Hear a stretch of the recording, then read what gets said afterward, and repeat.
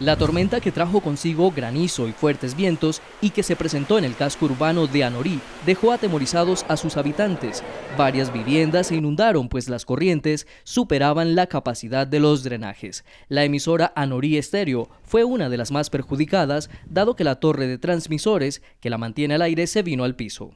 Nuestra torre que contiene las cuatro antenas o bahías eh, se desplomó en la construcción de la torre de la emisora que fue tumbada por el vendaval se invirtieron 30 millones de pesos. Una situación pues difícil en el momento y que ya estamos pues trabajando para solucionar. El presidente del Consejo Municipal manifestó que las viviendas inundadas se encuentran en perfecto estado y con relación a la antena de la emisora estudiarán la forma de aportar a su restauración. Eh, sabemos que algunas entidades privadas o corporaciones eh, invirtieron perdón, en la antena entonces por eso el municipio no sabe eh, qué participación le toca para volver a parar dicha antena.